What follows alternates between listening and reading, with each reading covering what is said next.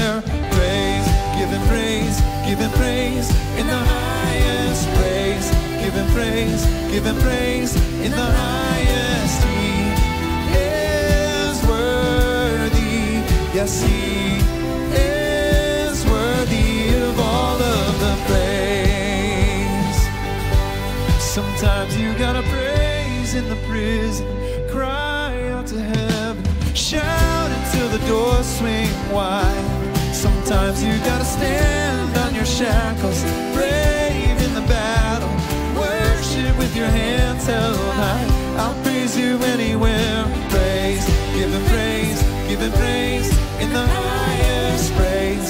Give him praise, give him praise in the highest. He is worthy. Yes, he is worthy of all of the praise. Give him praise, give him praise in the highest praise. Give him praise, give him praise in the highest. He He is worthy of all of the praise.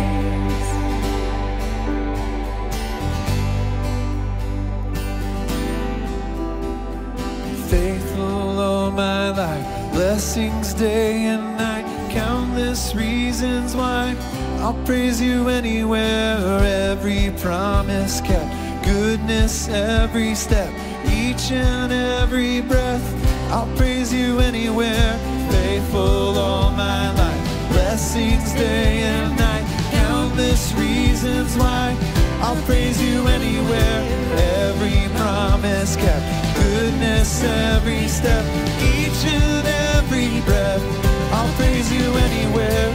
Praise, him praise, him praise in the highest praise.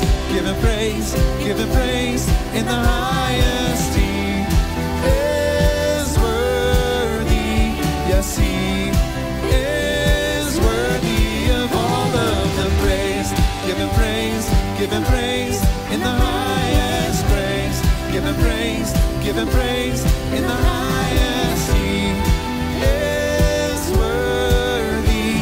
Yes, he is worthy of all of the praise.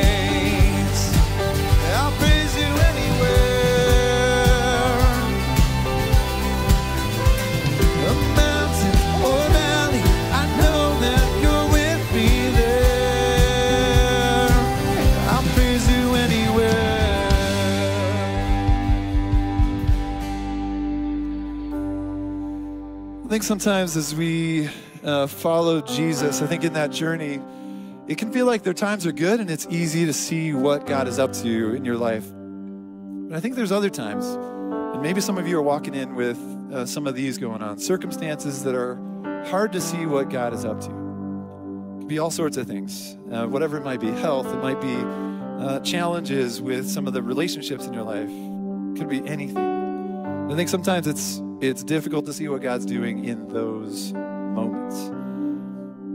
I think in my life that's been true. There's been times where it's like, man, I don't really see what you're up to, God. What are you doing right now?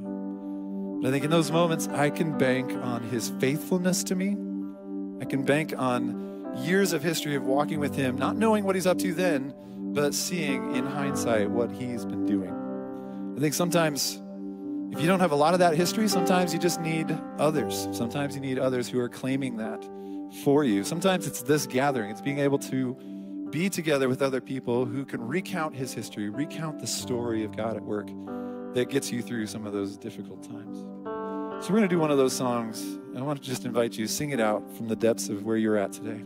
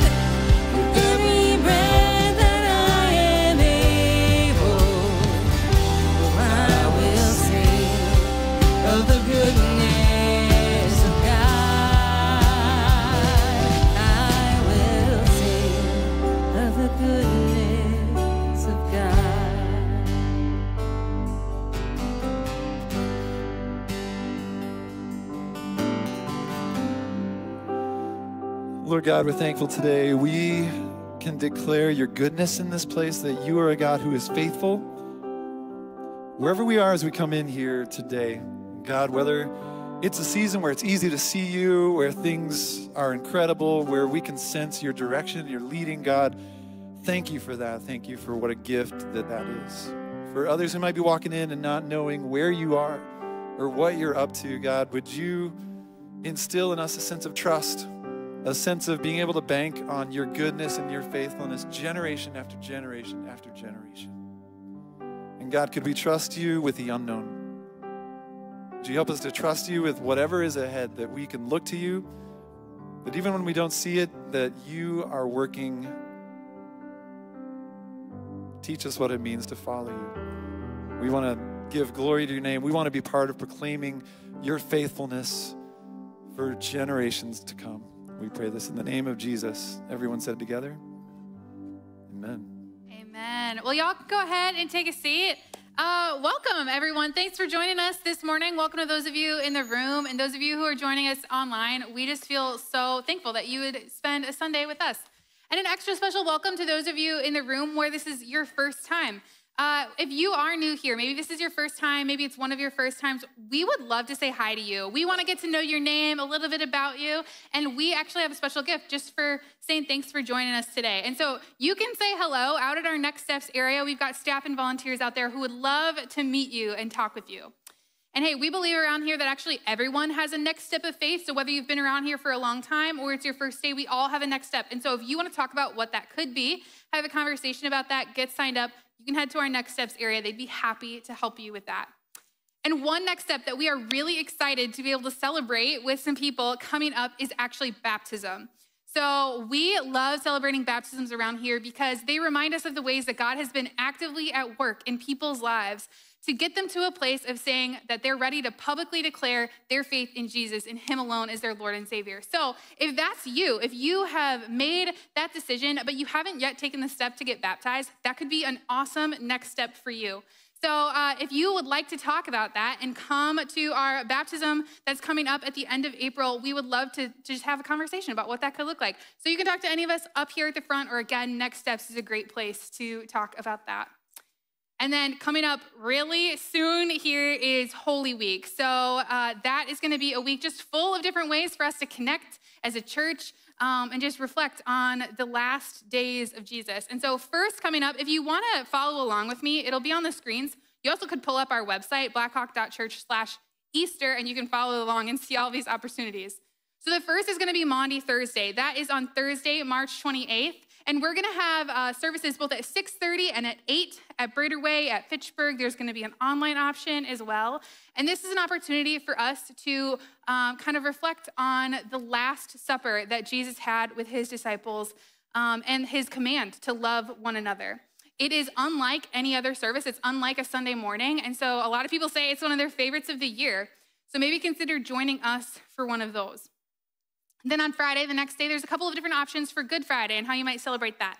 So High Point is hosting a service at 12 and at 6.30 uh, where you can come. It's for anyone any of the churches on the west side. They're going to have options both in english and spanish. It's a dual language service which is incredible. And so if you want to join one of those you could do that and then we're also hosting the African American Council of Churches. They are having a service here at Brader Way at 7 p.m. on Friday. And so you're going to hear from different Madison area African American pastors as they reflect and teach on the journey to the cross. And so anyone is welcome to join for that. That's at 7 here in this space. It's going to be incredible. And then that brings us to Easter Sunday. So we have lots of different ways that you can celebrate Easter Sunday with us. We've added a 7:30 a.m. service, so if you're an early riser, maybe you would consider that. And then we've also got our evening service at 4:30. Um, so if you're coming in late, maybe you've just coming back from a spring break vacation or a weekend away, consider joining one of those. We're gonna have special treats at those at the 7:30 and the 4:30. Uh, it'll help us also just to make room for guests and visitors who are gonna be joining us at the 9 and 10:45. So if your family can make one of those options work, maybe consider that. But we will also have our, our um, regular service times, 9 and 1045. Uh, we're going to have B Kids available at all the morning service, 739, 1045. It won't be available at 10 or at the 430 in the evening, uh, but you can definitely join us for one of those. So maybe consider this week, who can you invite? Who are you going to uh, invite to one of those services? We also have all of our normal uh, 9 and 1045 online services. So if you're joining us that way, all the normal places and times you find us will be available there. But think about who you can invite and make a plan for Easter week. So, all right, that's all I have for us this morning, and I get to pass it off now to Pastor Charles for today's message.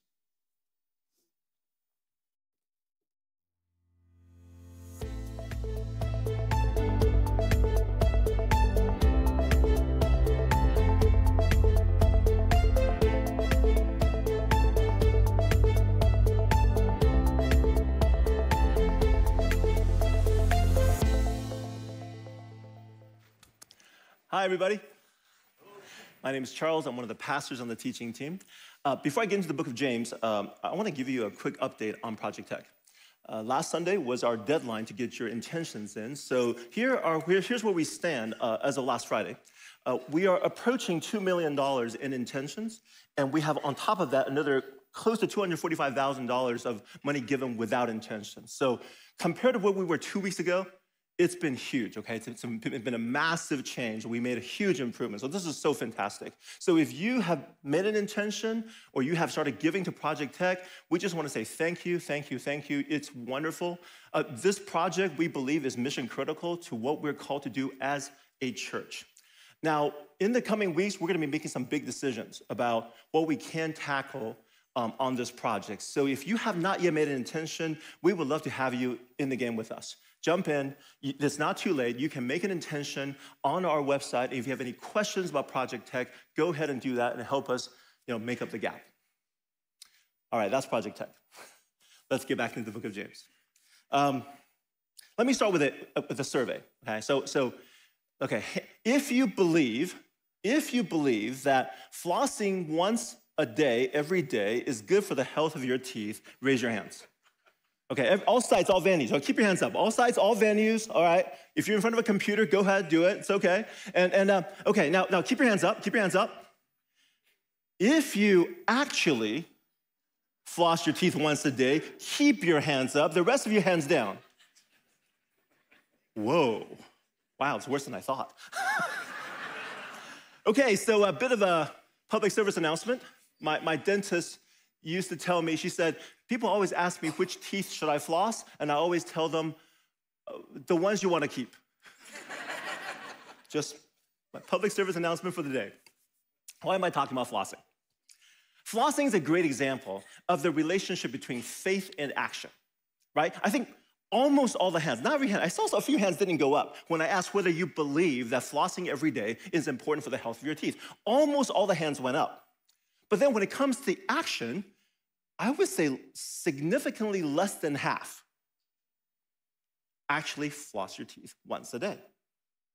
Right? There is what we believe over here, and then we have actions. A very few of us actually take the action that flows out of that belief.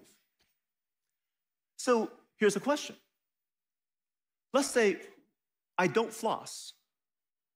Will my faith in the power of flossing save my teeth? I think the answer is an obvious no. Well, here's what we're going to learn today that, like flossing, when it comes to follow Jesus, faith that's not attached to action doesn't do a thing. That's what we're getting into today. We're looking at the book of James. It's, it's an amazing book. And we, we entitled the series Faith in Action. And, and, and James has been as good as advertised, right? Three weeks out, we talked about how James says, teaches us, he says, hey, you need to think differently. You need to start thinking about how, how you know, if you look at trials and, and sufferings, you should consider them as pure joy. Right? Two weeks ago, James tells us what is true religion? Taking care of the, of the widows, the orphans, the powerless in their moment of distress, and making sure that you're not molded and shaped by the world around you. Last week, we learned that favoritism, discrimination, has no place among the people of God. So we have read the first chapter and a half of James, and it's been nonstop action action, action, action. And at this point, you know, some of you may have the question like, wait a minute, I thought following Jesus is about faith. I thought we're saved by grace through faith. How, how come there's so much focus on doing stuff? And, and then others might ask these questions like, what, what, what if I fail to do all this stuff? What if I come up short? Will God punish me? Do I lose my salvation? These are great questions that people ask today and in the first century. That's right. People in the first century, the time of James, they were asking the same kind of questions. What is the nature of faith? What is the relationship between faith in action and salvation? Big questions. And so James, he anticipates these questions. So right in the middle of the letter, he switches gears. Yeah? Chapter 2, verses 14 to 26, the passage we're looking at today, he stops talking about action and he answers the question what is the relationship between faith, action, and salvation? How do they fit together? Now, this is obviously a big topic. Right? Throughout, this, is, this, this topic has been the subject of major theological debates throughout church history. There was, a, there was a famous one between Augustine and Pelagius in the fourth century. And of course, you all heard of the Protestant Reformation. Both of these debates were centered on the question of faith, action, and salvation. How do they fit? Now, I don't have time to get into the theological nuances of these debates. Okay? So, what I want to do today is three things. First, we're reading the book of James. I want to do James justice. Now, we've already learned that James was written early part of church history. It was one of the first books in the New Testament that was written, um, which means James wasn't writing to answer our questions. James, James wasn't writing, he didn't know about the controversies that came later, right? Decades later or even centuries later. So, what I don't want to do is, I don't want to read James through the lens of Paul's letters or even the Protestant Reformation. What I want to do is help us understand James on his own terms. So that's the first thing we want to do.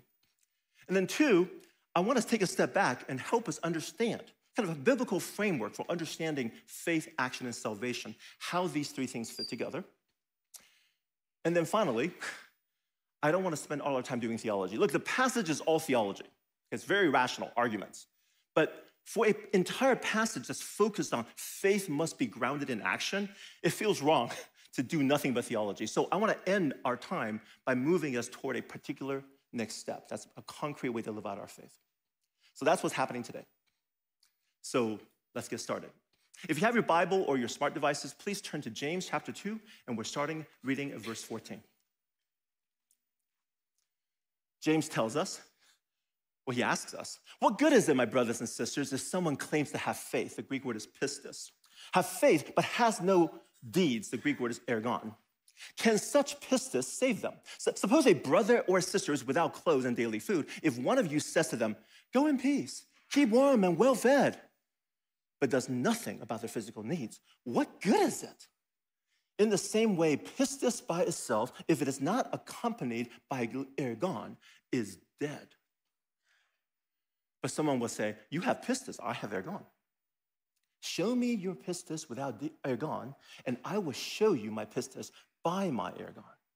You believe, pisteuo, that's the verb form of, of, of faith, believe that there is one God. Good. Even the demons believe that and shudder. You foolish person. Do you want evidence that pistis without ergon is useless? Was, was not our father Abraham considered righteous for what he did? This whole phrase, its Greek word is ek ergon, out of out of work, out of deeds. For when he offered his son Isaac on the altar, you see that his pistis and his ergon were working together, and his pistis was made complete, ek ergon, by what he did. And the scripture was filled, fulfilled, that says Abraham pisteuo, believed God, and it was credited to him as righteousness, and he was called God's friend. You see that a person is considered righteous by what they do, ek ergon, and not by faith alone, ek pistis. In the same way, not even Rahab, the prostitute considered righteous, uh, was not even Rahab, the prostitute, considered righteous for what she did when she gave lodging to the spies and sent them off in a different direction. As the body without the spirit is dead, so pistis without ergon is dead. What is this passage about? Well, you probably can't read that, right? You don't have to. By the way, here's a, here's a, here's a hint about how to do Bible study. Print out your Bible passage on like, you know, like, you know, 8 by 11 page, double space, and then get your color pencil, get your highlighter, and just go nuts. Have fun, draw all over it. It's a great way to do Bible study. Because you can just look at this, right? You look at this, you go, what is this passage about? Oh, it's about two words. Pistis, faith, or in verb form, pisteuo, believe, and ergon, deeds or action, or doing something. And if you look at this passage, you go, oh, this pas- entire passage is about the relationship between faith and deeds, pistis and ergon. And James very helpfully puts his main question right up front. Verse 14. If someone claims to have pistis but has no ergon, can such kind of pistis save them? This is the question that James wants to answer. And right from the front, we notice something, right? We notice that James is talking about a kind of faith that can exist without action. Right? There's a faith that exists without action. So let's call it, I call it the, the, the no action faith. Right? Let's just, you know, no action faith. And the question that James wants to answer is can this kind of faith, the no action faith, save a person? So he starts his argument, right? So he starts his argument in, in the next verse and he tells a story. He says there's, there's a Christ follower who lacks clothing and food. And then somebody comes along and says, Hey, go in peace, keep warm and well fed. Very kind words, very nice sentiments, right? I desire that you are warm and well fed. But then James says, if you don't do anything about it, what's the point? Right? James, James is making a simple point here. He's saying sometimes some words, some words require action or they're meaningless. Some words require action or they're meaningless. I'll give you an example. Let's say at the beginning of a meal, I have some friends, you know, we're at a restaurant, and I say, hey, everybody, this is my treat. And everybody's like, oh, wow, Charles, you're so nice, right? You're so generous, right? They, and, we, and we eat our dinner. But if at the end of the dinner, I don't pull on my credit card, I don't pay the bill. That word, those words, my treat, that sentiment of generosity, completely meaningless, completely useless, right? Certain words require action or they're meaningless, they're dead.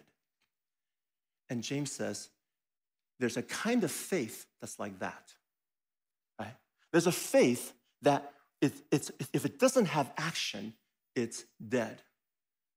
So, right at the beginning, James lays out two types of faith there is the no action faith, and then there's the action required faith.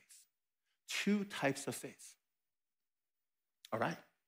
Now, James anticipates a response. Someone will say, Hey, you have faith, I have deeds. You have pistis, I have ergon. Right? But what, what, what, what, the person is saying is look, it's clear. You can have faith without action. It happens all the time. I can believe in something, and that belief does not require action. All right, James already said that's possible. It is entirely possible. So James says, okay, okay, okay. If that's the case, show me the kind of faith you have. What kind of a faith is it that doesn't require action?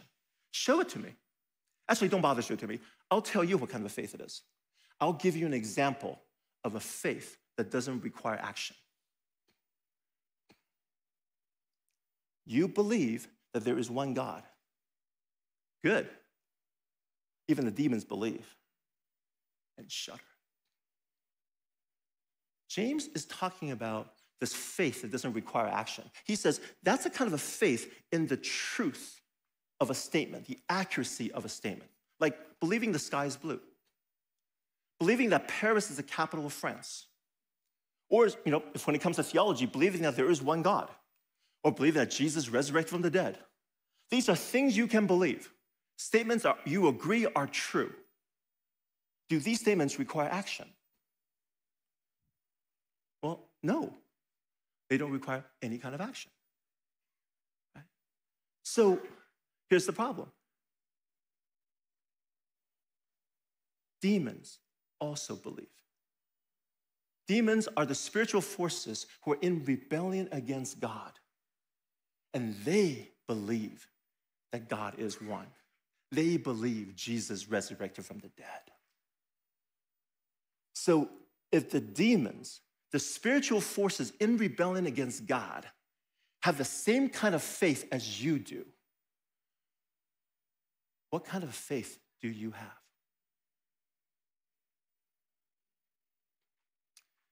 And then he goes on. He says, Look, you want evidence? You, you foolish person. Okay, James doesn't pull punches. Do you want, do you want more evidence, right? That pistis without ergon is useless. And then, so James says, Look, you want some evidence from the Old Testament? Because that's really the only Bible they have at the time. he says, Look, I'll show you, I'll give you two examples, two examples of faith that's combined with deeds. There's a story of Abraham and a story of Rahab. Now, this is where we need to remind ourselves that the Bible is not written to us, before us. James, as you remember from the first week, is writing to Jewish Christians in the first century, Jewish Christ followers. And they know their Old Testament backwards and forwards, inside and out. Okay? They know the story of Abraham, they know the story of Rahab. The moment James mentions the two names, they're like, oh, yeah, oh, I see your point. Okay, I get it. For us, eh, not so much. Doesn't work for us as well. So if you're interested in the two stories, uh, go to Genesis 15 and 22, or go to and, and go to Joshua chapter 2. You can read about the story there. But what I want to focus on is the conclusions that James draw from these two stories. Right? From the story of Abraham, James says, here's the conclusion from the story of Abraham. You see that a person is considered righteous by what they do, ek ergon, and not by faith alone, ek pistis. And from the Rahab story, James concludes, as the body without the spirit is dead, so pistis without ergon is dead. That's the entire argument that James is making in this whole passage. And, and, and what does he say? He says, yeah, there is a kind of faith that exists that does not require action. Right? But can that no action faith save a person? The answer is a resounding no. Rather, true faith requires action. The faith that can save you requires action. And at this point, I think a lot of people are going, Whoa, I'm getting a little nervous about this.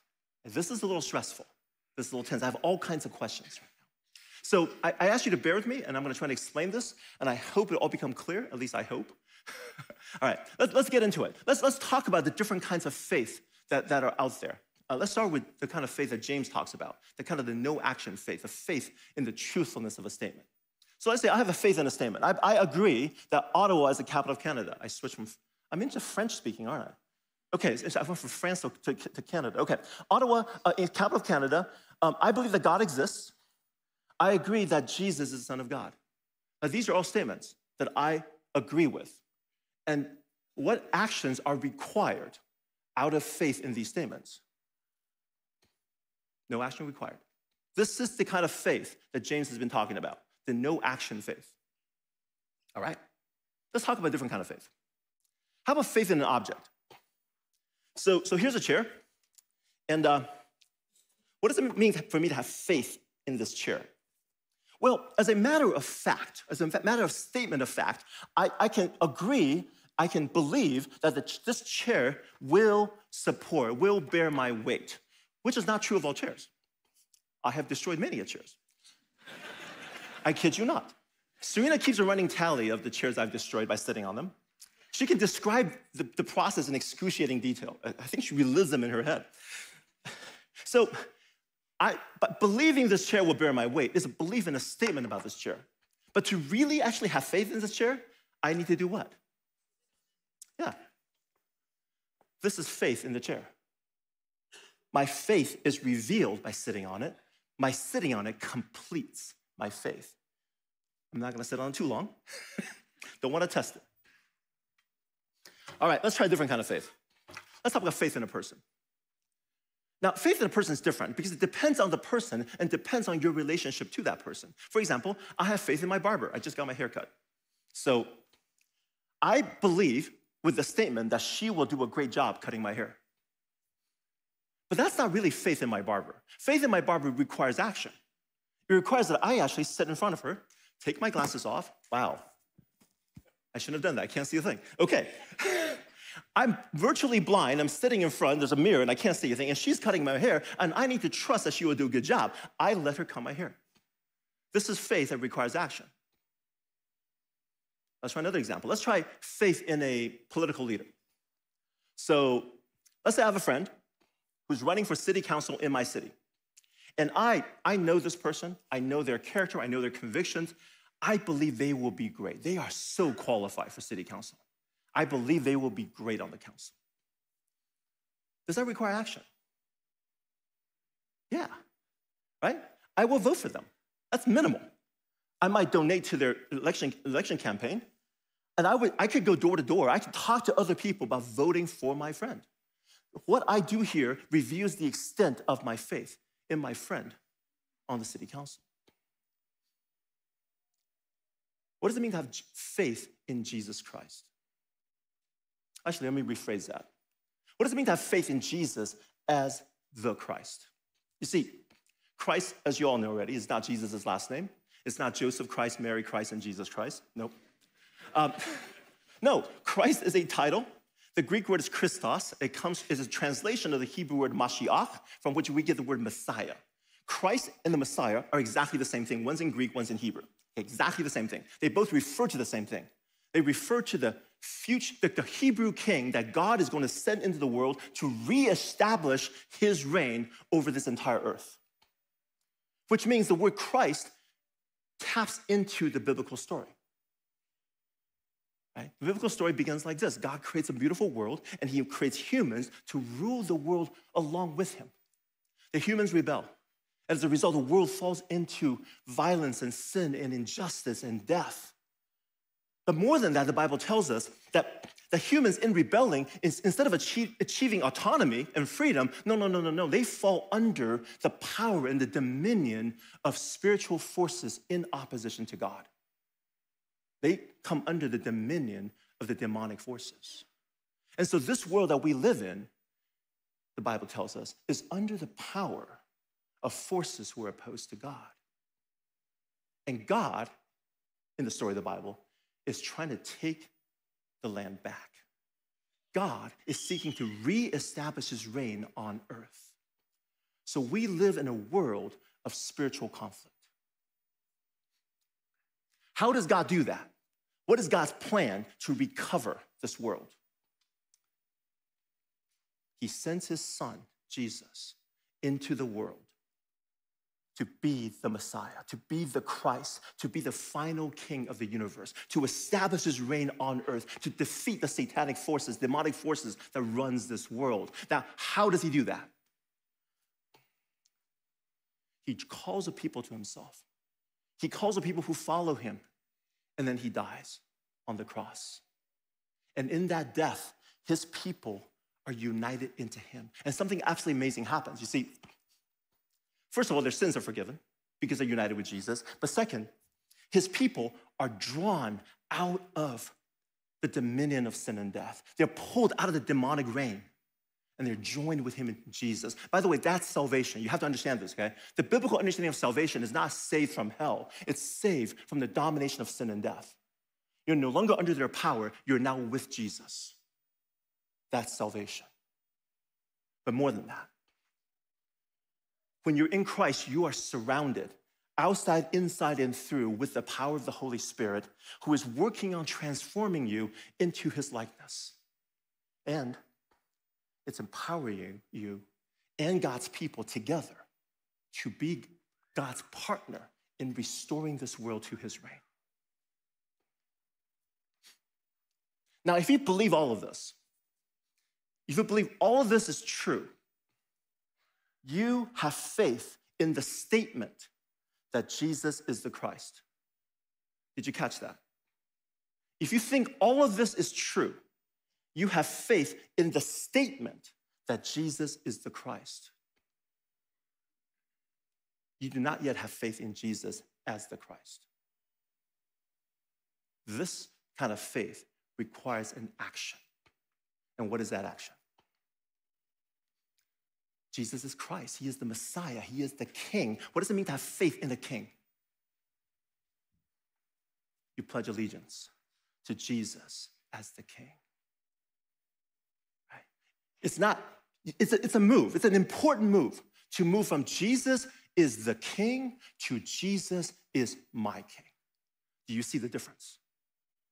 In this world of spiritual conflict, it's to say, okay, in a, in a world conflict, I'm on Jesus' side. I'm on his side of the battle. I, I follow him. I want him to win. In fact, I'm going to do what I can to help him win. That's what's going on. That's what it means to pledge allegiance to Jesus. And when you do that, something amazing happens, something important happens, something life altering happens. First, you are, you are pulled right out of the dominion of, of, of, of, spiritual forces who are opposed to God. You're, you're pulled out of the realm of sin and death. That's salvation, by the way. You are saved. And then, second thing, you're united with Jesus. You're joined with Jesus. You're one with Jesus. You experience intimacy with Jesus.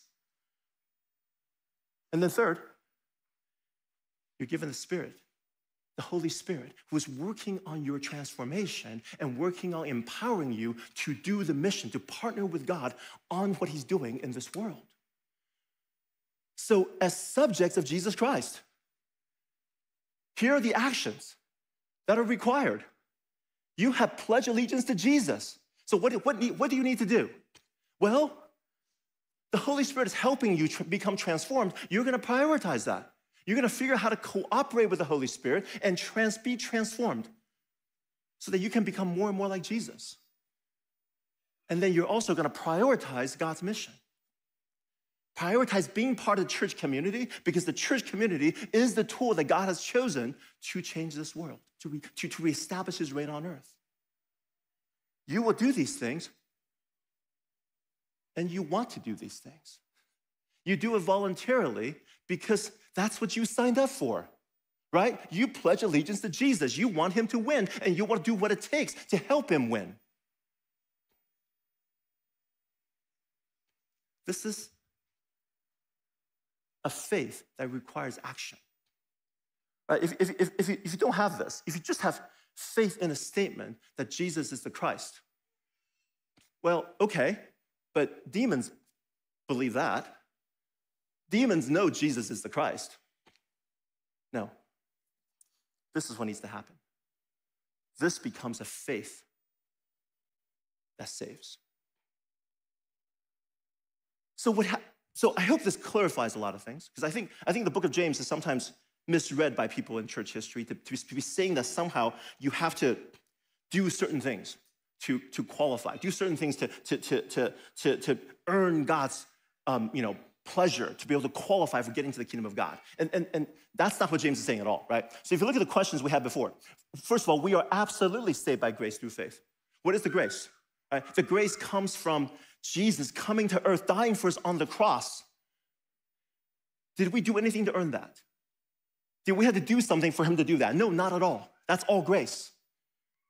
Do you have to do something so that you can qualify? Is there a precondition before you can pledge allegiance to Jesus? No, absolutely not. At any moment, any time, you can pledge allegiance to Jesus. There's no precondition. It is all grace. It doesn't matter what you have done in your life. You can pledge allegiance to Jesus. You can put faith in Jesus Christ as your Lord and Savior. Okay, that's the phrase we use here at Blackhawk, as your Lord and Savior. That's the same thing as pledging allegiance. It's exactly the same thing. And when you do that, you are saved out of the dominion of sin and death. Your sins are forgiven, they have no power over you. You are transformed and you are empowered for the mission. Second question What if I fail? The- that's the wrong question. It's not if, it's when. We are going to fail. Of course we are. The moment we pledge allegiance to Jesus, it does not mean we're immediately transformed. No, so we are gonna fail and we're gonna fail constantly. So what does that mean? Well, Jesus is our king. We fail, we get up, and we keep trying, we keep moving. Why? Out of obedience and out of the fact that we're being given this amazing gift. We're given the ability to live a life that looks like Jesus' life. That's the greatest gift possible. And we move toward it. So it's not about punishment. It's not about fear of punishment. It's not about, oh, I'm going to lose my salvation. None of those are even in the calculation. We, we, we just wipe them from the table. We don't even think about them. No. We are seeking to be, to be obedient to Jesus, my King. I want to live the life that he lived. That's what I want. And that's what the book of James is about, folks. The book of James is about us moving us, shaping us to live a life that Jesus lived, empowered by the Spirit for the sake of his mission. All right, let me pause here, because, like I said before, that's a lot of theology. and for a passage that's about activating and being, taking concrete steps towards your faith, um, we need to do something different. So, um, we can talk, I mean, we can literally talk about any concrete uh, next step we want to. But what I want to do is be inspired by the passage, by the example that James used earlier. So, so James started with this story here about a brother or sister without clothes and daily food. And if one of you says to them, Go in peace, keep warm and well fed, but does nothing about their physical needs, what good is it? Right? That story right there is touching on our community. There's a major problem with food insecurity here in Dane County. So what I want to do is, is, is to um, introduce you to some, a, a Blackhawker who has gotten involved in, in this area. So I'm gonna ask all of you in all the sites and venues to welcome to the stage Lisa Olmsted.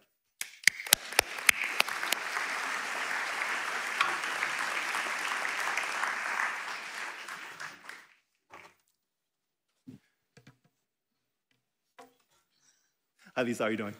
I'm good. How are you, Charles? Good. Thank you so much for joining us today. Thanks for having me. okay, so uh, Lisa, tell us a bit- little bit about yourself. Um, how long you been in Madison? How long you been um, coming to Blackhawk? I've been in Madison since June of 1971, and I started at Blackhawk in 2009 because I lived down the road at the time and we watched Brader Way being built. So, out of curiosity, we decided to come in, Wow. check it out. Okay, so building a building as a way of drawing people. Fantastic. Yeah. Um, so you have been involved in um, uh, helping with the issues of, of, of food insecurity here in Dane County. Um, how did you get involved in that? Well, one Sunday, um, Impact Ministries was having their fair out in the atrium, and I stopped by and talked to um, a person from Badger Prairie Needs Network about the organization, and she encouraged me to come to a volunteer orientation. So I, I did a few weeks later and signed up right away because it was an amazing place, and it's Yeah. all volunteer run. Wow. Tell me more about uh, your Prairie Needs Network and, and, kind of the work you do there. Well, it's located in Verona, Wisconsin, and it's um, right on Highway 151 and Verona Avenue.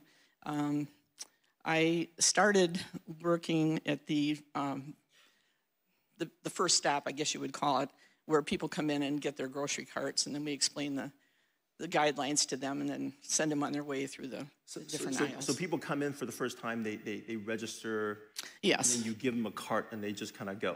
right. and pick up the stuff they want. Mm-hmm. Wow. Okay. So um, now, what do you do for them now?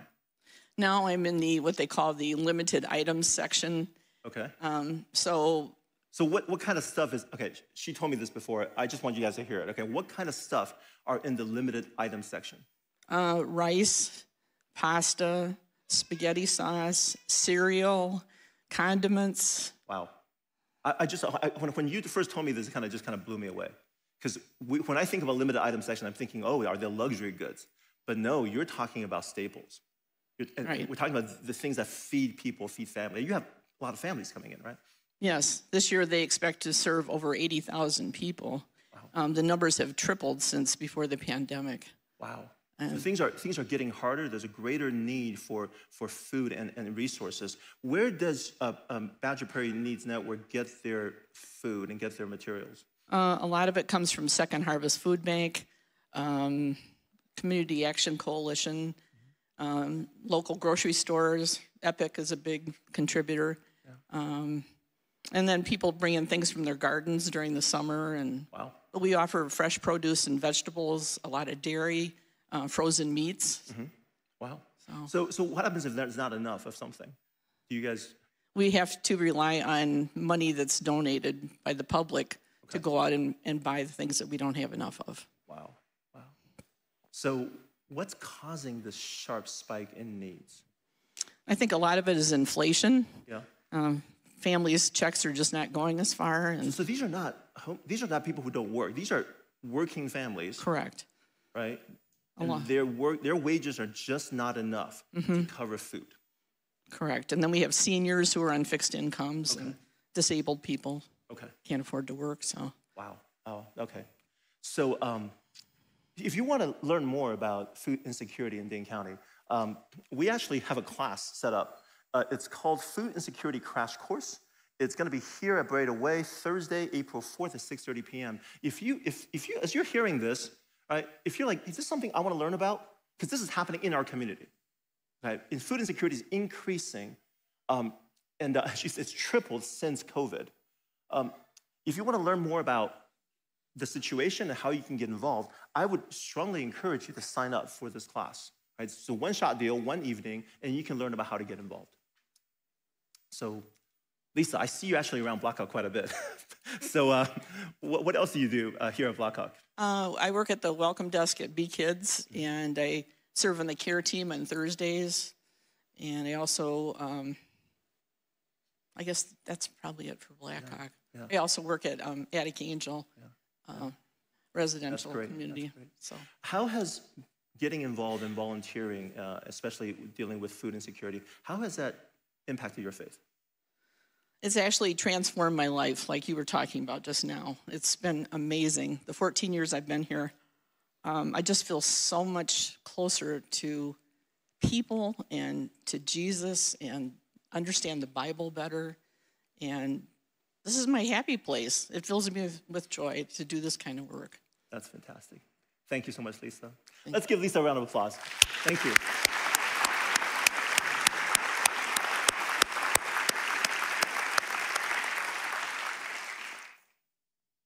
Faith requires action. That's the kind of faith we have. Now, we heard a lot today, and uh, what I want to do right now is to offer us a time of reflection. So go ahead and, and wherever you're at, the sites and venues, in front of a computer, right here in the room, go ahead and close your eyes. And I'm just going to talk our way through a time of meditation. I'm going to guide you with my words. The big question I want you to be asking yourself is how is my faith lived out in my life? How is my faith lived out in my life? Now, I know for many of us, that you didn't, you didn't hear anything new today. You know that you have a faith that requires action. That you have already pledged allegiance to Jesus as your Christ, as your King, as your Lord. And you're seeking to live your life like Him. So, t- right now is a chance to reflect on that. How's that going for you right now? in your work life, in school, family, friends, relationships, online, social media? What does it look like right now for you to be living out your faith? Go ahead and talk to God about that. But I know for some of you here and you're watching, this has been a very uncomfortable sermon. Because you're asking yourself the question do I have a no action faith? Some of you, you've been coming to church years, decades. Some of you, you know a lot of theology. You know all kinds of stuff about the Bible. You believe all of it. But you're wondering, you're asking yourself, have I actually pledged my allegiance to Jesus as Christ? Have I made the move from Jesus is the King to Jesus is my King? Have I made a decision to, to prioritize my transformation, to look for ways to cooperate with the Holy Spirit that is working in my life so that I can live a life that looks like Jesus' life?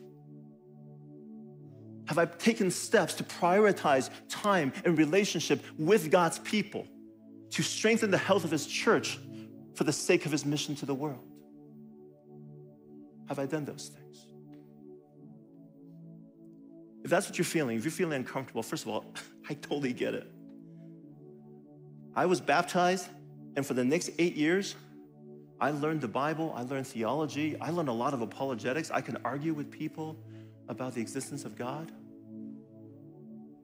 It was eight years later that I actually made that decision to make Jesus the King into Jesus my King. Look, we believe God is real. We believe Jesus resurrected from the dead. That's all important, but it's more than that. It's more than that. This is a faith that requires a response. It is a faith that requires that we pledge allegiance to Jesus. We allow Him, the Holy Spirit, to come into our life and we prioritize our transformation into His likeness because we want to follow Him, we want to be like Him.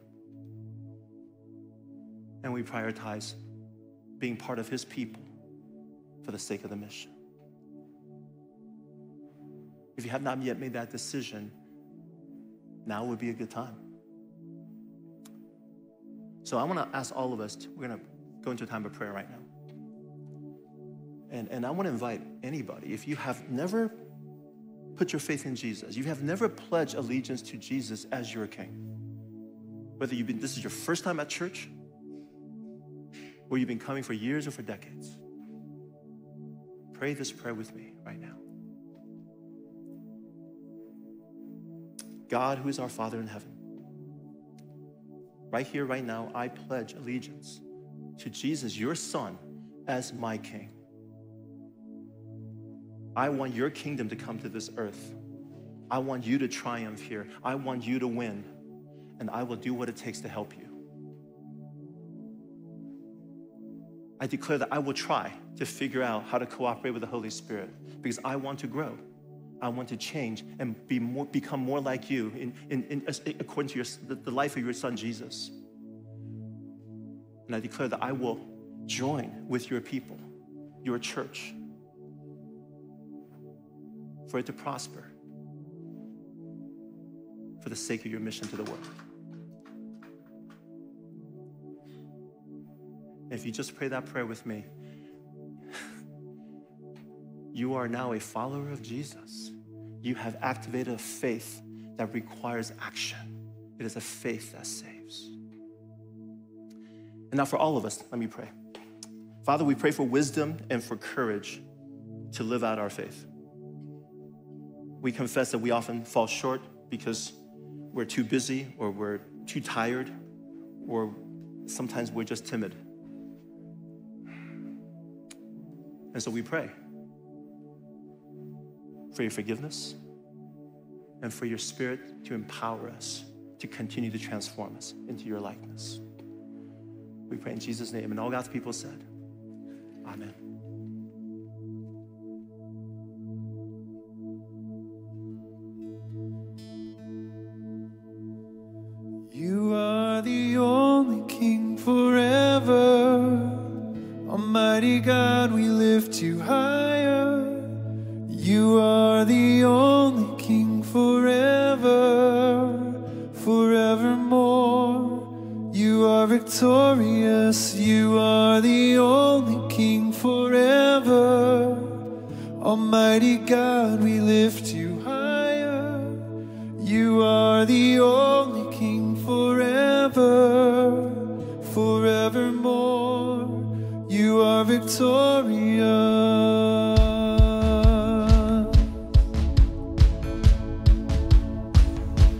We close our service, would you stand with us if you're able? We're going to sing of our King. Invite you to sing out. This is one you know well.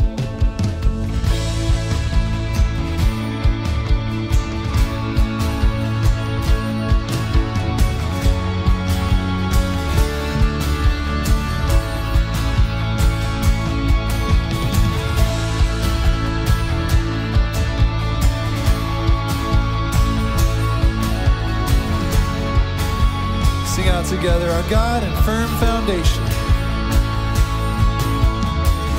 Our God and firm foundation, our rock, the only solid ground. The nations rise and fall. Kingdoms once strong, now shaken.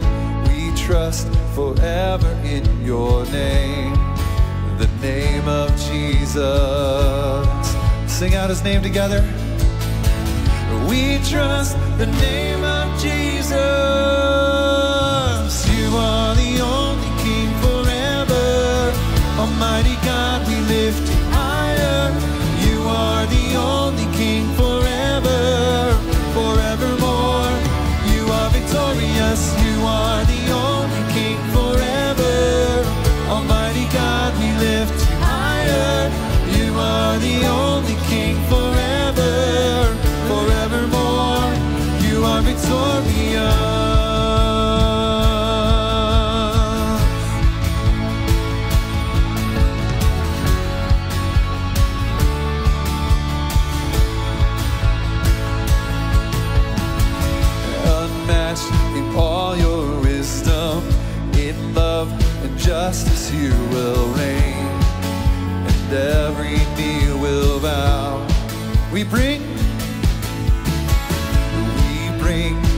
expectations. Our hope is anchored in your name, the name of Jesus. Sing out his name together. We trust the name of Jesus.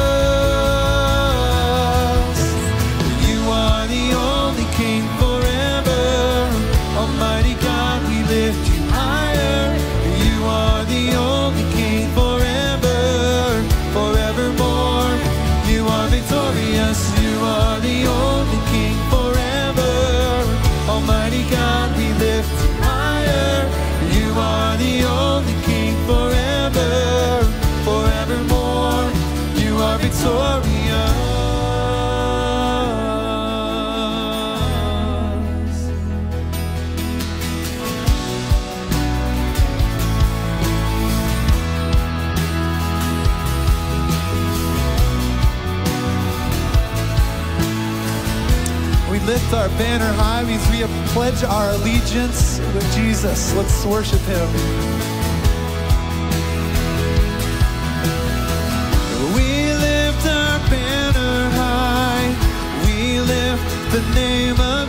Jesus. From age to age you reign. Your kingdom has no end. We lift our banner high. We lift the name of Jesus.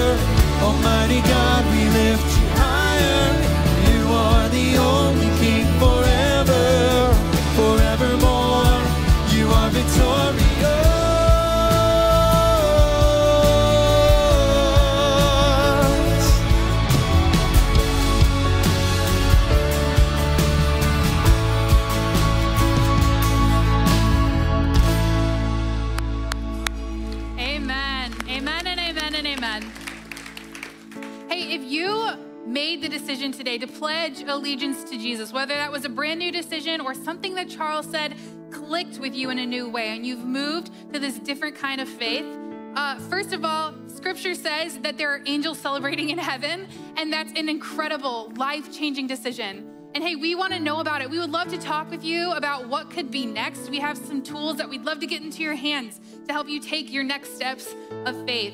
Uh, so you can feel free to come up here and talk to any of us or go talk to someone out at the Next Steps area. But if you're not ready to talk to someone quite yet, you also have a number that you can text. You can text yes to 608 618 4003. Just fill out a quick form. It'll let us know that you made that decision, and you can opt in whether or not you'd like to have a conversations with a pastor or someone on staff just to be able to share about that and talk about what could be next.